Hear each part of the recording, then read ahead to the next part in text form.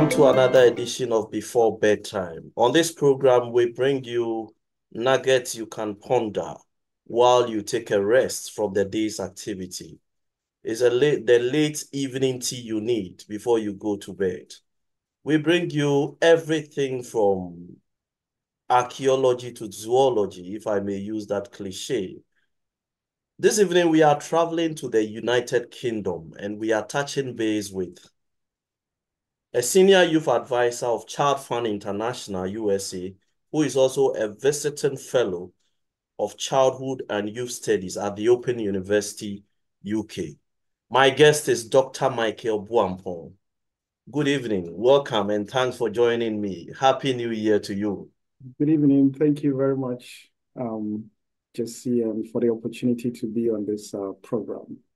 Looking forward to sharing my experience. Uh, first of all, we want to uh, start from the very beginning. Uh, you grew up in Ghana. You were born in Ghana. I don't even know whether you are Ghanaian now. Maybe we'll find out in the course of the of the conversation.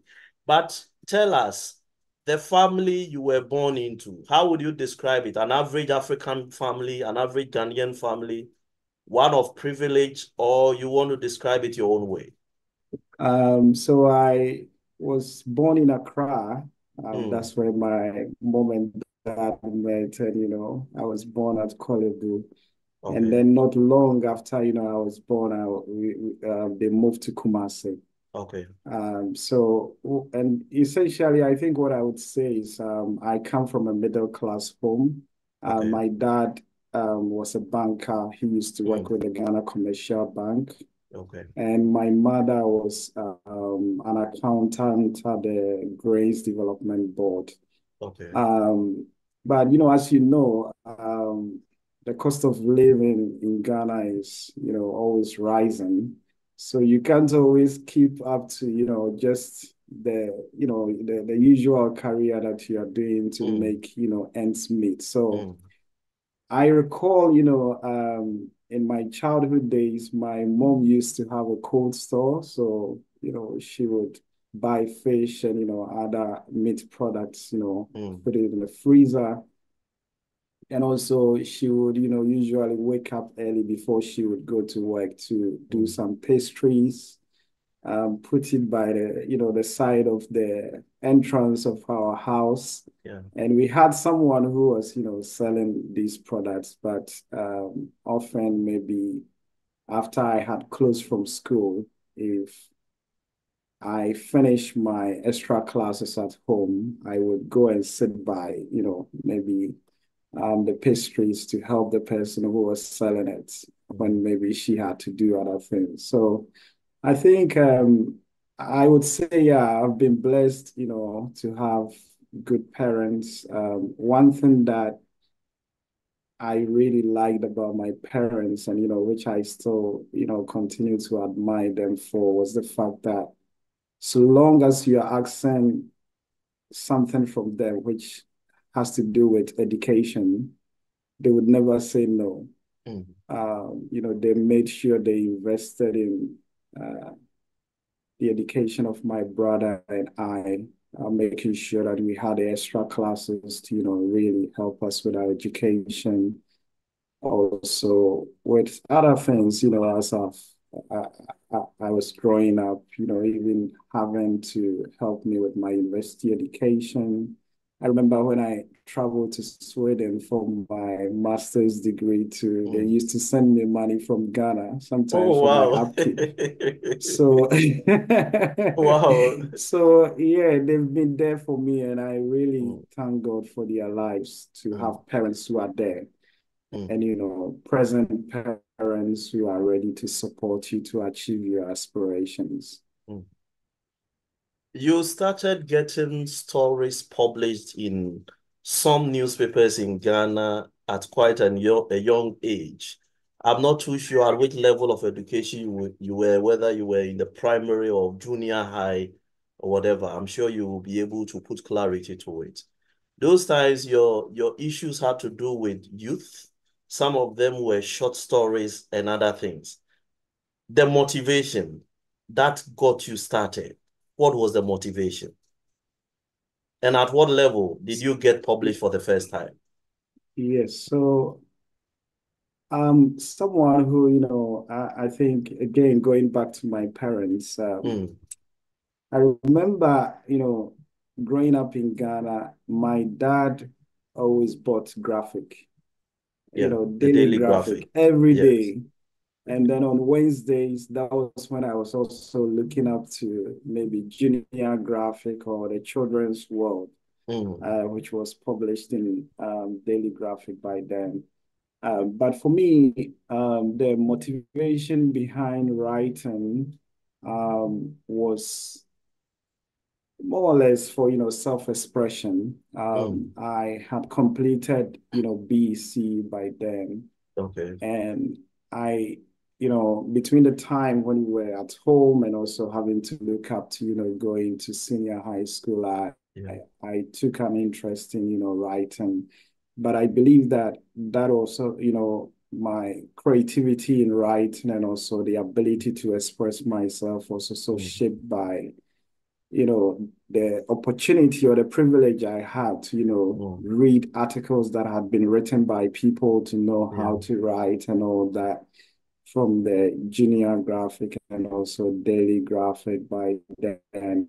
So then I started writing in, you know, um, the children's world corner of daily graphic. Okay. Um, I remember one of the um, stories I wrote um, that was about uh, why the cat likes to sit in the kitchen. and then um, at some point too, I used to I used to write uh, for the Mirror Okay. and also Spectator, but yeah. those ones focused on, you know, um, morality. Um, I remember one article I wrote was about flee youthful lust. Okay. And also something that I believe was shaped by, you know, my godly upbringing and the mm. need to also encourage other young people to, um, you know, be mindful of, you know, things that would, um, you know, pervert them. And then also um, I wrote an article that focused on um, failure is never final. Also mm. to encourage, you know, other young people because you know when you write BC or you know SSC, some people, you know, uh, obviously grades might not go as you want, but yeah. that was also an opportunity for me to encourage other young people. Um, when I, you know, growing up, you know, when I finished senior high school going to university, I think I began to think more about, you know, development issues, had also issues concerning youth development. So I started to write more of, you know, okay. issues pertaining to advocacy, mm. you know, the the need for, you know, governments to include young people in decision making. Mm. And also around issues of youth unemployment and migration um, I think also one of the things that I find very important to writing is the fact that it's a is a very central part of you know my professional development okay. and how I mm. you know I, I I I saw myself in the future. Mm. I wanted to be a thought leader okay. in migration issues and youth development. Mm. And by that, you know, I felt, you know, whatever idea that is on my mind, I need to put it into writing. I yeah. don't have to hide it. Um, once you put it into writing and you have also a platform to express it, it it can really take you far, get people to know you, and also see you as a leader within a you know that particular field. Um, Before you continue, ask a question um, about. Mm. Yes, I want to find, you know, getting published in a niche, in a national newspaper is a very competitive uh, thing to do. Mm. You, you are up against even numbers you have no idea of. How many times did you write before you got your very first article published? I would say um, it was um, it was quite um, it wasn't that difficult for me okay. per se, and I think part of it also was also because um, I took my time to you know write, but also I had one of my teachers Um, Okay. I remember his name now. I don't want to mention his name here, but he also took a very strong interest in, you know, my desire to write. Um, so sometimes when I write, he would, Mm. you know, have a look at it and then, you know, help to edit it. And then um, what for him was important was for me to, you know, have the idea. He's going to Mm. help to, you know, edit it. And then um, I then had to, you know, make sure that I put it in an envelope and then mail it to um, the news um, paper, um, Mm. You know, outlet. So I think, um, yeah, for me, I wouldn't say I had um, a big challenge with, you know, when I, I wanted to write um, those first pieces.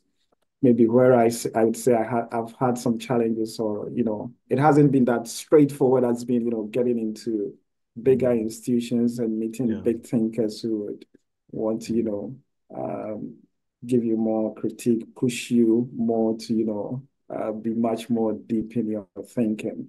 Mm. Uh, you know, it's different from writing a story, and Yeah. then also now you are getting into um, academia where Mm. you have a bunch of professors who are going Yeah. to um, That's right. critique your work here. Mm. Yeah. Matters of youth development, Mm. migration, and social inclusion, and the like are matters that have been close to your heart for a long time. At what point did you birth these as the path you wanted to craft or you wanted to take for a career? What brought about Mm. these interests in the first place? Yeah, so that's a very good question. And for me, um, again, uh, one thing that I want to really thank God for is um, I was able to identify, you know, a particular area or niche Mm. area which I wanted to focus on at a very early age. So, um, in um, I think back in um, in 2003 thereabouts, um, or maybe yeah, 2003. Um, I knew by then, you know, Kofi Annan had established um, the Global Commission for Migration, um, and I did Okay. chance on a report around that. Mm. But then before then also, I used to write for different, you know, platforms. Um, there, there was, for instance, the UNICEF Voices of Youth, Okay. um, which was a platform for young people to express their ideas on different development issues. And as I mentioned, I used to write for, you know, newspapers in Ghana, but I wanted to, you know, take it also to the global level. Okay. And, you know, I started writing on, you know, migration issues and other development issues that affect young people. And there was um, an opportunity for a young person to um, speak at a UN event in New York. That was in 2006. Mm. So I did put in my application, and there was this youth organization in New York um, called Global Youth Action Network. So they selected me to be a principal speaker at their first high level dialogue on migration and development, which was kind of convened by the United Nations, but then also driven by the report that the Global Commission on Migration and Development produced. So I did participate in this meeting that was in 2006. And then um, from there, you know, when I was doing my bachelor's degree, Mm. that was also when I had the opportunity to, you know, um, take a, a research topic. Okay. And I took this very seriously because I felt that was going to be the first time I would ever do an independent, you know, um, research. Yeah. So I decided to choose the topic of migration. And migration is such a broad area. You know, there is a human rights aspect, there is the economic aspect. But also one of the things that I had learned from the conference that I participated in and also the Global Commission on Migration report was about the nexus between migration and development. um, which remittances, you know, the money that migrants send back home Yeah. plays a very crucial role. So one of the things that was fascinating to me was the fact that migrant remittances is double, you know, official development assistance, which is Oh, the money that developed countries give to um, developing countries for, you know, their development. And I felt like this is really interesting. In, in when you, you know, align it to the negative narratives that we see on um, the in the media, mm, um, that migrants are drowning in the sea and all that, and you know, people should stay home. So, you know, I did travel to Berekum, mm, then, you know, the Brong-Ahafo region, um, to um, carry out, you know, first-hand interviews with returnees. And I had a very fascinating interview. The results were quite very interesting that even for those who have been deported, often they Okay. do come back with some money, they do Mm. come back with some skills, and some of them had opened their own shops and they were not necessarily dependent on governments or other family relations to, you know, have a form of livelihoods. mm, So for me, this was quite, for me, you know, um, um, the kind of first time experience I had interacting with returnees or migrants, getting to know the tangible um, impact of uh, migration. So at a point in time, I started, you know, moving into advocacy that, you know, we need to talk more about the positive impacts of migration and also look at the human rights dimension. Um, I know ECOWAS, for instance, had this freedom of mobility without restriction, but these are all policies that mm, you wonder how are they implemented yeah. um, within the sub-region. Um, so I decided to push migration through this youth organization that I established. We had a youth migration program. Um, I used to do youth online consultations for major international events like the Global Forum on Migration and Development, which is still an ongoing one. Mm, Um, with time, I moved on to work with UNDP in Accra um, on an European Union um, sponsored project. Mhm. And that was again another opportunity for me to develop my international experience.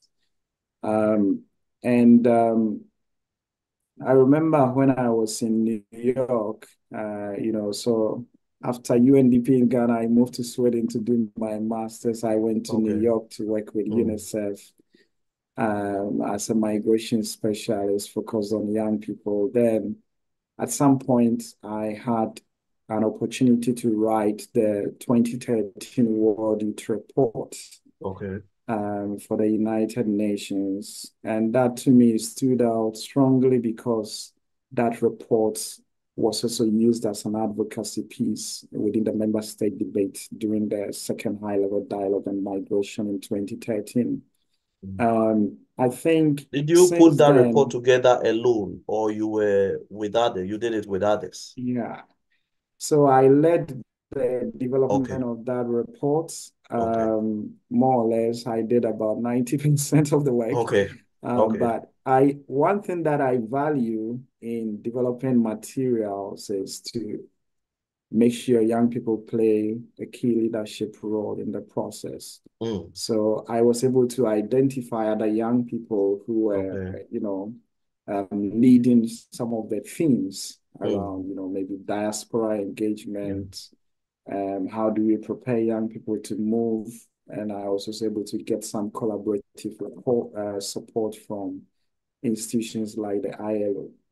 Okay. Um, and you know, um, after that report, um, I think I also had the privilege of, of sitting on a steering committee of the Secretary General to develop um, the SG report on migration and development um, in 2014. So. I would say it's it's been something that started early Mm. and um, sustaining it over time through advocacy, writing, mm. um, putting out, you know, my thoughts and also getting the perspectives on the young people of young mm. people to write maybe policy briefs or reports that mm. helps decision makers at various level, whether at the UN or other levels of decision making, to understand what mm.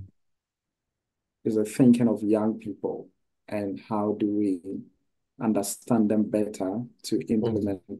policies that align okay. with yeah their thinking or their needs. Okay. Africa is uh, generally a very young population. It is more youthful, hmm. probably, mm. than Europe. Um, but you are somebody who has a passion for youth development and the representation of the youth at uh, very important sections where they can speak up and be heard. Are you satisfied with the representation of the youth let's come to Africa. Are you satisfied with the representation of the youth? From politics to the corporate world to business and everything in between. Take a casual walk through Africa and give me what your impressions are. Yeah, that's a very good question. And I think you're right that, you know, Africa has the youngest population. Mm. Um, on the average, you have majority of Africans' population um, being below the age of 30. Mm. Um, but then when you look at statistics, you realize that um, there is still that kind of generational gap uh, mm. where you find leaders who are leading a very young population are, you know, above I think the average age that was noted in a report by the Afrobarometer okay. was, I think, 65. Uh, wow. If I am, yeah, maybe I'm more generous. but you would still have leaders who are 80 years, but yeah. the average is like, you know, 60, right? Mm. Uh, so if you are looking at 30 against 60, it's like a huge generational gap. Mm. And I think that is something that we need to take seriously in terms of governance um, mm. and how leaders reflect the needs of their population. But one of the things or the observation that I've made is also be, you know, the fact that there are a lot of barriers that you know young people face mm. uh, when they want to, you know, and you know go, you know, when they want to venture into politics or, mm. you know, there are some barriers to political participation for young mm. people. Mm. Um, for instance, if you are looking at um, the cost of, you know, um, elections and, you know, how much it would cost, you know, file your nomination.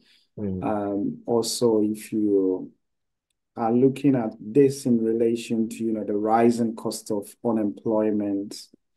You know, how does an unemployed person uh, vie for a political position when there is a high cost of, yeah. you know, political participation? And also, I think there are also some age restrictions when you look at some of the policies that we have.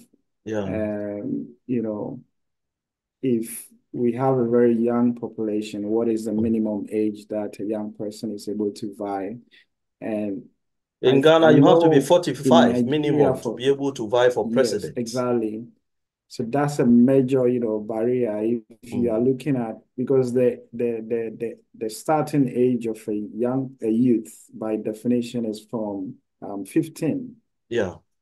Right. So on the average, maybe if we are looking at um, promoting youth participation in politics mm. and leadership, then we should be able to lower this um, age so that you know young persons, even as young as maybe nineteen, can you know vie for a political position if, they, if yeah. only they have the capacity to do so. Mm. Um, so I think these barriers needs to be addressed. Otherwise, it's going to be challenging. Um, mm. You know, and if you know we can also look at mainstreaming youth um, Okay. into development processes and, you know, um, for instance, it's not, we can't all be, you know, uh, ministers or, you know, right. um, prime minister or whatever name is being given Mm. to a leader in any country or maybe. But then, if, for instance, the ministry of this or that, they they can promote youth leadership in maybe their board or management. Mm. Um, it's one way of promoting, you know, um, youth leadership.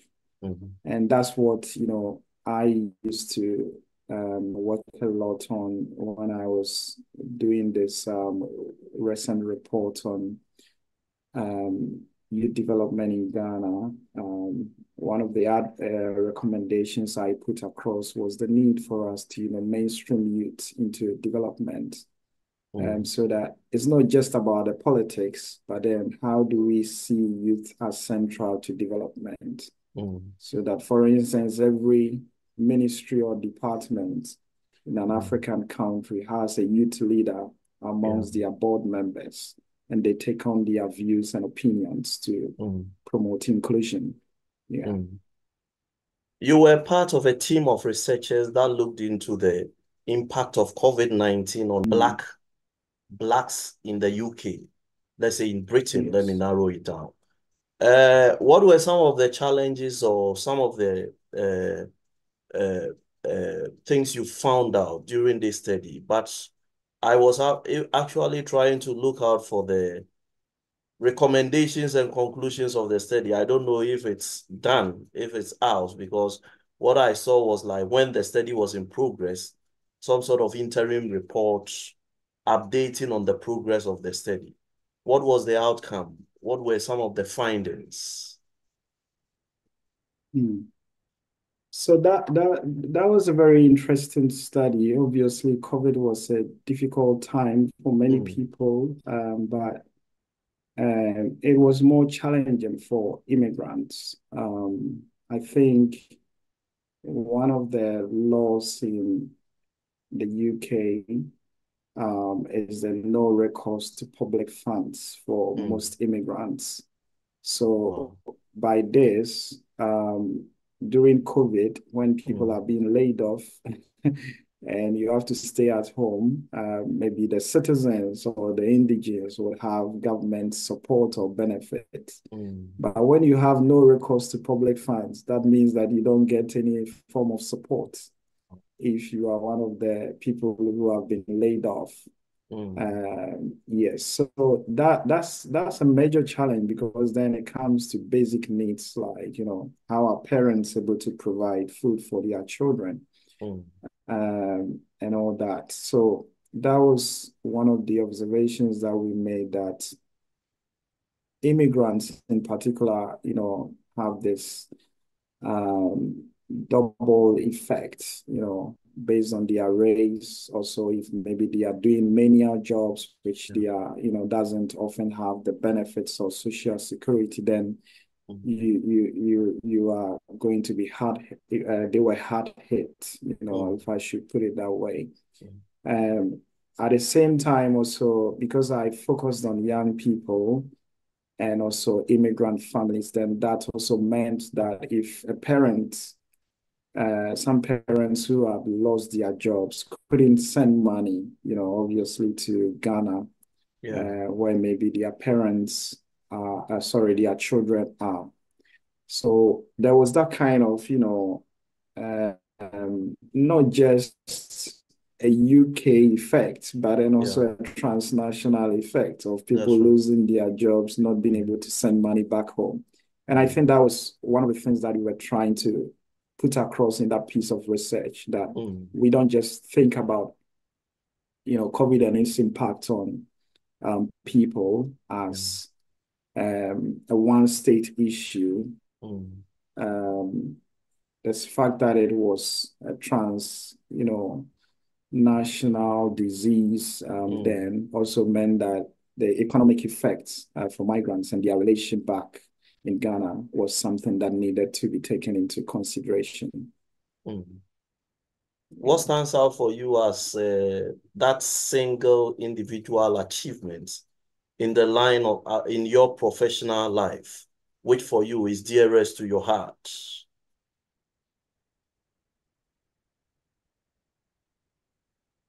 Hmm. So I think uh, my achievement, which I'm very proud of, is um, I would say two. Mm. Mainly uh, the 2013 World Youth Report. Okay. Uh, which I wrote for the United Nations. Mm. Um, and this was the World Youth Report. So okay. it had a, a global engagement and a mm. global ramification. Um, it was used as an advocacy piece amongst UN member states. Um, one thing that I'm proud of is um, today I have seen that young people are taken more seriously mm. in UN member states uh, debate on migration. So back in 2013, mm. um, youth then was not a major um, constituency that was recognized, not to yeah. talk of 20, uh, 2006 when, you know, I made reference to that conference. So yeah. now, because of that report, we see a lot of uh, recognition of youth as a very important constituent in migration issues. And I must say that this is also uh, at the backdrop of the fact that when you look at global migration mm. trends, young people form almost nearly half of international migrants. Yeah. But then they have not been, you know, taken seriously in terms mm. of decision making. Yeah. Um, the second thing is this um, um, youth development reports that I was commissioned by the Commonwealth Secretariat to work okay. on mm. um, for the government of Ghana. And as we all know, when you are developing a policy, you need to have evidence. So yes. that report served mm. as a basis for the development of Ghana's current national youth policy, mm. uh, which I'm very proud of. And um, as you and I always talk about, um, it's not just about the policy. You need to think that's about right. the implementation, and that's, that's something right. that I'm looking forward to. Right. Um, yeah. Mm. Now, a number of factors keep affecting migration across the globe. Currently, as we speak, we have troubles in Russia and Ukraine, Israel and Palestine, or depending on how you are looking at it, Israel and Hamas. It looks like everybody has their own definition of what is going on. Even these two, and of course, there are also oppressed minorities and people who are have become targets of their governments fleeing into exile, among other things. I know the, the ideal picture of migration advocates like yourself is a world where migration is completely legal so that people can have that kind of uh, dignity of humanity preserved wherever they find themselves. But with all these challenges all over the world, it's a world where migration is really legal only a realistic target? Yeah. I like the context that you've placed this question, and I think that will make my work easy. Um, so I think it's possible, but mm. it's going to take time. Okay. Um, first of all, there needs to be that political will. Okay. You know, migration is something that has become very politicized and used by politicians from different standpoints to, mm. you know, um, get votes from people. And somehow to we also need to recognize that um, there are different kinds of migration. You know, there is mm. voluntary migration, there is a forced migration. Yeah. Um, we've seen stable countries where people are prospering that you know, have been plunged into war and insecurity. When you look at a place like Libya, I remember yes. when I used to do, when I was doing my field work um, there, mm. uh, I knew Ghanaians who used to travel to Libya, um, though they had you know, aspirations of moving to Europe, they would still some some of them came back to Ghana with a lot of you know skills or maybe money to start a business and keep their family. So it is making the the fact that Libya is unstable now is making migrants and you know and also most developing countries are economically unstable uh, with economic challenges. So we are having a lot of people who are moving out of desperation, right? So unless we address, you know, some of the driving factors of migration, uh, it becomes more difficult to talk about legal paths. So, and at the same time also, the legal paths for migration, yeah, uh, uh, you know, are shrinking. Mm. You know, also because we have political figures who are there now who yeah. are very resistant to the movement of people. Mm. And also because it's being politicized, and also I believe that sometimes the media also creates a very negative narrative about migration. So it makes people who listen to the news sometimes think like, oh, there are a lot of people coming into our country to steal jobs so let's vote. Let's vote to stop these immigrants. So, yeah. you know, if we can change things about political will and also put more positive narratives about mm. migration, people can be receptive to migration. And I think this also connects with an issue about evidence driven policies or discourse, right? Mm. When you look at the demographic profile of Africa, yeah, Africa has a very young population, yet governments are unable to create jobs mm. to meet the needs of the you know the, the youth population. At the same time, when you look at Europe, Europe's age, you know, um, demographic is aging.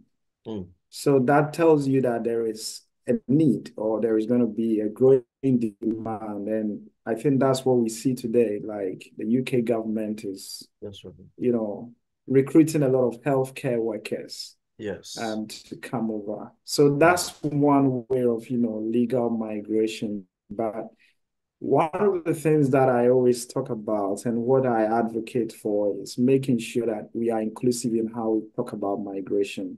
Mm. If the cost of recruiting a health worker from Africa is up to the tune of maybe 4,000 pounds, mm. how many people in a rural place in Africa would have that money?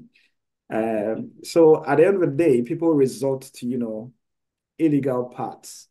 Yeah. Um, so we need to fix a lot of underlying factors and also okay.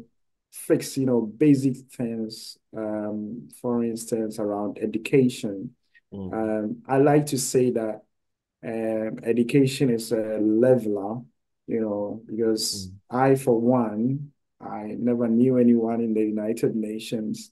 Okay. Um, my parents were local, you know, bankers. My mom a local yeah. accountant in Ghana. But yeah. education, if is really um, invested in mm. uh, by you know, leaders and also young people take advantage of their quality mm. education. Mm. You can easily, you know, get a scholarship. You can Yeah. get, you know, um, other opportunities um, to live in any part of the world that you want to, and Mm. you can go in and out easily. Yeah. So I I believe that, you know, we can get there. It will take time, but let's fix some of these underlying issues of education, um, you know, economic development, mm. promoting peace, like you mentioned, all these mm. unstable countries. How do we promote peace to make sure that people move um, mm. in a safe, legal, and orderly manner? Uh, between leadership, bad leadership and terrorism, which of them is the biggest threat? or which of them is the biggest contributor to illegal migration? I think uh, that's a very good question. I don't have a straightforward answer, but Okay. I think both of them are terrible. Yeah. Yeah, because you can have bad leadership and Mm. it's going to, you know, um, force people to move Mm. out of your country. Yeah. And terror, uh, you know, also doesn't encourage people to stay where they are Yeah. because everybody wants to have peace. Sure. And, you know, migration is something natural for every human population. Mm. You know, uh, people want safety, they want development.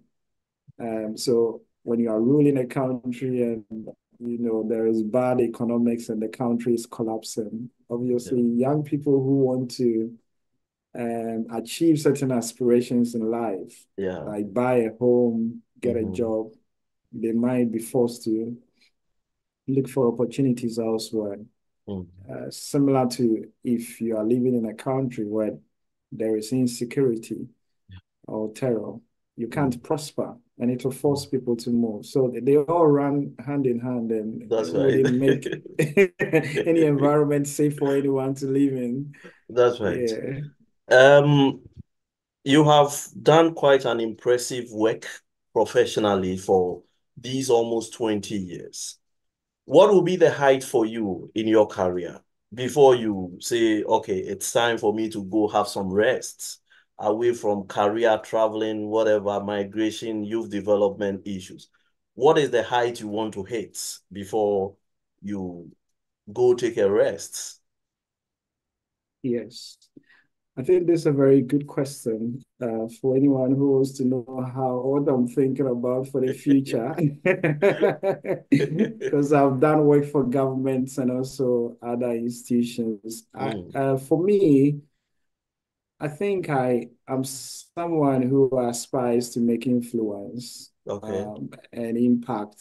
Mm. And I believe um, getting into you know executive position or senior leadership within an international organization is something that would help me Okay. um, to um, contribute to you know decision making, uh, also based on you know the values that I believe in.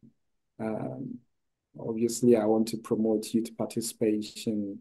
Mm. I want to see um, development trickle down to the needs of uh, marginalized populations. And sometimes you don't get to achieve these, right, Yeah. when you are not in a executive position or right. senior management. So obviously, you know, to climb up and get to maybe um, senior leadership within um, Like UN Secretary General? Uh, eh, maybe that's prophetic.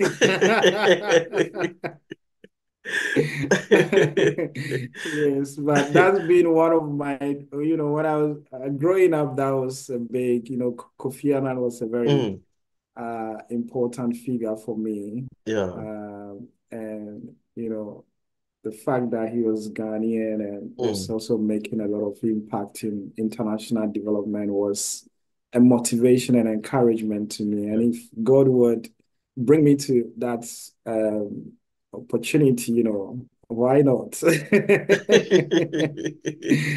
Yes. But what defines what defines fulfillment for you in life and in your career? Hmm. I think uh, for me, fulfillment uh, has a lot of facets for me. I I'm someone who values relationships. Mm, Um, so um, I, I like to, you know, be with family, um, be with cherished friends who mm, would encourage and motivate me. Um, also, I do value um, personal growth and, you know, um, professional growth. So, you know, I wanted to do a PhD and thankfully, you know, um, by God's grace and also with the support of, you know, people around me, including, mm, including my supervisor, I was able to get my doctorate, which uh, was something that I wanted to achieve in life, and I feel mm, fulfilled with that. mm. And there is also that element of making impact. You know, you can aim for money, you can aim for this, but for me, when I see a young person um, who has a job, who is flourishing with maybe an entrepreneurial venture, it's, it's something that I'm proud of, especially through the programs that I have been part of within mm. the organizations that I've worked with. Mm. And um, lastly, also to make mention of the importance of spiritual growth and development. Yeah. Um, my wife and I, we always talk about the fact that any Sunday that we go to church is like um, something that refreshes us, right? Yeah. We find it very refreshing um, mm. after the busy times that we have with work yeah. and makes us, you know, really fulfilled um, that we are not just looking at the economic or the fiscal aspect of life, but, you know, ultimately the spiritual aspect. And I have been privileged to also serve as a young adult leader within my church. I also sing in the choir, and wow. whenever I sing too, I'm happy. it brings joy to my heart. Mm. yeah, so the, these are you know the main things that you know constitute fulfillment in life for me. Mm. Is there any decision that if you had the opportunity, you would have taken it much earlier in life? Um, yes, that's a very good question and something that I often reflect on and also encourage young people mm. with. Uh, I think earlier on, um, I would have wished to, you know, have a mentor. Okay. Um, particularly, you know, the field of international development. Mm. As I said, my parents were not in that area yeah. of work. Yeah. Um, and also, because I, I, had an international um, goal, um, I wish I had had a mentor who would guide me on do this, mm. do that, do that, and you'll get here. Wow. so that's something that you know I hope you know listeners will take into mm. consideration. Mm. Mm. Get someone who would mentor you. Um, and you know, obviously these mentors they would have walked the path that you want to walk in. They might even be in the destination that you are looking to get to. And they can help you navigate and avoid certain things and have a smooth ride, if I should put it that way. If we are to roll back the hands of time 20 years, are you going to take the same professional path or you do something different? I will. I will take that same path. I think for me, I see youth development as a calling for me. Mm. I've always loved to, you know, um, make an impact in the lives of young people. And mm. that's the reason why I established Young People We Care in Ghana. And, you know, after many years, I still, I'm still in that sector. Okay. Um, I became an assistant professor. Even then, I was still doing research on youth. um, and it's still giving me a mix of, you know, experiences, mm. things that I believe it's all kind of shaping it into what is the calling and the purpose that I have in life. Maybe this is going to be my uh, last question. Hmm. For all these uh, years and works you have done, obviously there have been a number of people who are also looking up to you in your field of work what has been the relationship between you and much younger people that you know of who have shown interest in your work? Are you still in touch with them? Is there some sort of mentorship you are giving them? Or you have just given them a compass to navigate in their own unmapped waters, just as you did? Yeah, great. So in terms of relationship, um, mm. I would say it is at different levels. Um, okay. First of all, I started youth youth development by establishing a youth organization and yeah. had young people, and some people don't know you were part of that organization. I was a part yes. at some point. yes. so, um, you know, now we are here. We are talking of still about you know things that relate to young people. Mm. Uh, I know when you approached me for this session or interview, I, yeah. I couldn't say no. Um, obviously, because of the relationship we have. That's right. Um, at the same time, also, I know there are new emerging leaders who are coming mm. up. Mm. Um, one avenue I have is um, I still provide some advice to young people, you know, from time to time when maybe okay. a parent will say, Oh, speak to my daughter. I, I know yesterday, mm. for instance, um, one person in Ghana who used to be mm. even a minister. I wouldn't mention okay. the name. She she mm. called me and asked me, you know, my daughter wants to do a PhD. How can I, wow. um, you know, uh, be of help? So mm. from time to time, you know, when I have these requests from here and there, yeah, I make sure that I make time. You know, mm. as you asked me earlier, I could be busy, but yeah, I want to see uh, my life uh, being impactful for other young mm. people. So um, I'm always available to take a call. Uh, I get emails, mm. get you know messages on WhatsApp, mm. and trying to help young people. Um, also, sometimes I direct them to resources. Right? Yeah. If I can't have all the time, but I can mm. say, "Oh, go to this." mm. you get what you need. That's it's, right. It's enough. And yeah, and I also do contribute to projects here and there, which I believe is all making impacts even in the lives of those whom I haven't mm. met. Um, mm. Yeah. Mm. In person. Yeah. I said it was my last question, but something just came up. Just obliged me this last one. You, for all these you have done, these years, you keep talking about your relationship with God, your church activities, and all.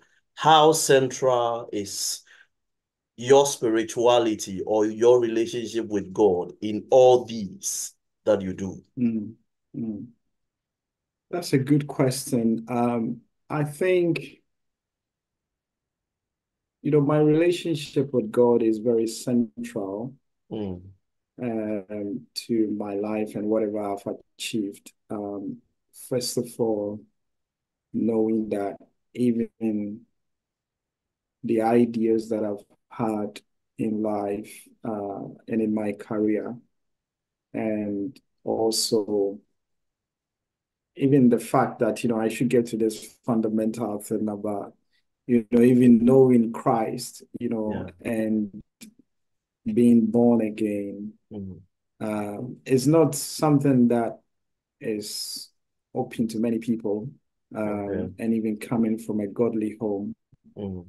So those things were very important in helping me to know the principles mm-hmm. that God has laid for us in life.